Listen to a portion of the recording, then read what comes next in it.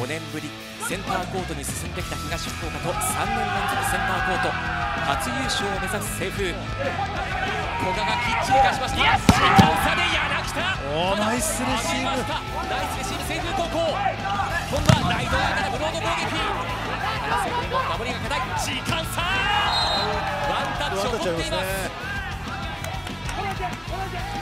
バックアタック一条これですきましたね。要所でエース躍動23点目。23点目。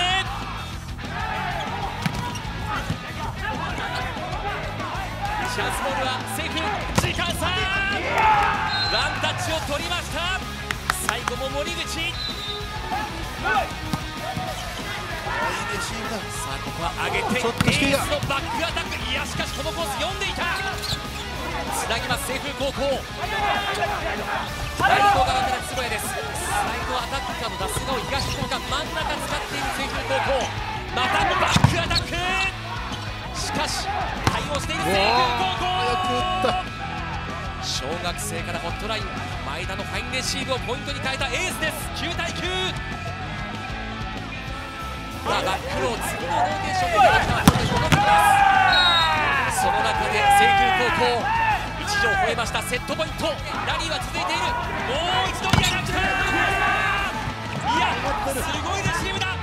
森口つなぎました。コート上ボールが落ちていません。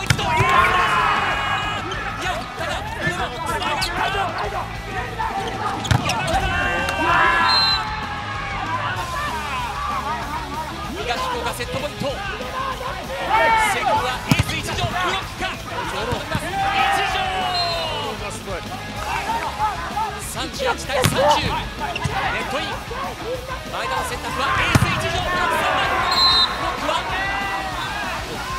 どうでしょうか入ってるところですね。あーポイントは東福岡。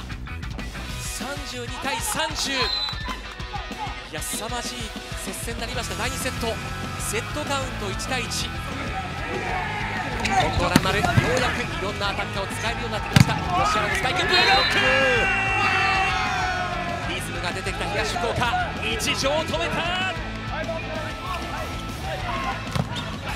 ブロックを降ります。清風高校ライトうわ入ったからまたブロックだ21対19おおナイスレシーブバックアタック止まらない。止めることができません。真ん中クイックアウはトか。わずかにラインアウト東福岡決勝進出へ王手をかけました。このセットを取ってフルセット戦いに持ち込みたいのは清風高校です。になります。一条だこれすごい。早い平行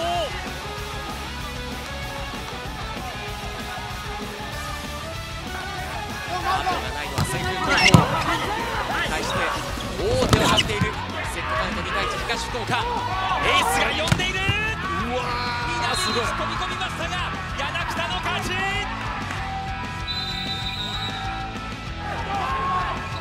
柳田。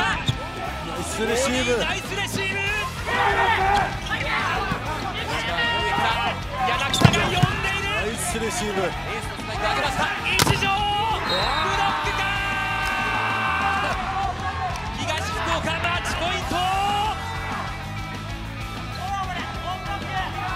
決勝のコートが見えてきた。エース柳田自分のサーブで決めるかサービスエースだ。